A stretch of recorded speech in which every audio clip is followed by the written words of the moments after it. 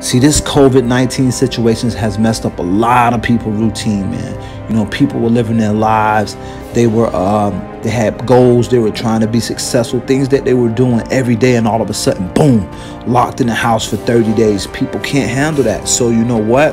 What happened? People started eating a bunch of junk food, uh, staying up late at night, getting up late, just messing their whole routine up. And I'm gonna tell you something. When you you take a routine and you do bad things, you create bad habits, and bad habits are hard to break, man. But see, I can't I can't live like that. And I advise you not to even do that. See me, before this situation happened with the COVID-19 coronavirus, hey, I got up early in the morning, 4:30 a.m., cardio, had my breakfast, went to the gym, trained my clients. Midday, I trained myself again. That was my my recipe for success. That's what made me feel good. That's how I took care of my body. You get what I'm saying? So why should I stop that now? Hey, okay, lockdown, Kev, you can't go to the gym. Okay, great. So what do I do?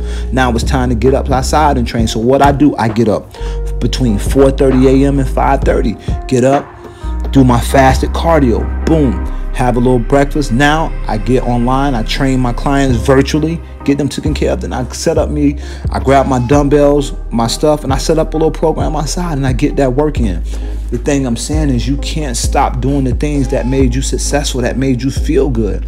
I'm not gonna let me being locked in the house in the gym clothes break my routine. No, why would I do that? Then why would I create a bunch of bad habits? Why should I do that to myself? So let's look at it like this here okay, we already know this situation gonna pass. We're not gonna be locked down in the house forever. So now you wanna sit home and eat junk all day. Now you wanna sit home, stay up all night, wake up late. What that's gonna do for you, 30 to 60 days of that is gonna create a habit. And this is gonna be a bad habit. So when we come out of this, now you gotta fight that bad habit and try to break it. Why do that to yourself? Stay on your grind, man. Keep doing the things that make you successful. Keep doing the things that make you feel good. Don't mess up your routine. I'm telling you. Yeah, I know it may feel good for the moment, but you gotta stay focused balance yourself out, but stay focused on your grind. If you were training and exercising before the lockdown, continue to get your workout in at home, man. Don't let nothing stop you because you got to continue to take care of you. Because if you add on an extra 15, 20 pounds, guess what? After the 30, 60 day lockdown, you're going to have to battle with that to get that off. Do you want that trouble? No. You don't want to do that to yourself. So create even create create better habits. And then you know what? Come out even better after these 30 days. That's the goal.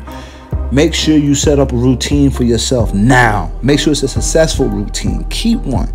And when that routine is successful, you'll create successful habits and you'll come out good, man. And you'll be feeling great and it'll be just like nothing ever happened. You get what I'm saying? But stay on your grind, fam. Y'all have an amazing day.